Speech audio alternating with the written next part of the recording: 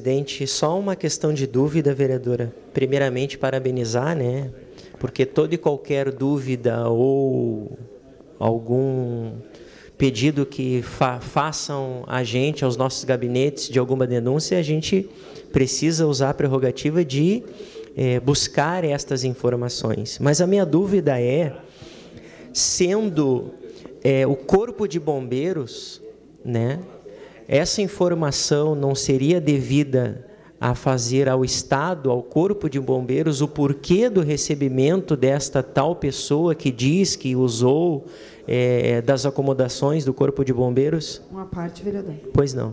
Sim, esse pedido está sendo feito ao Estado, Ah, ao certo. Corpo de Bombeiros, ao tenente, ó, ao tenente eh, Fortes, tenente coronel Fortes.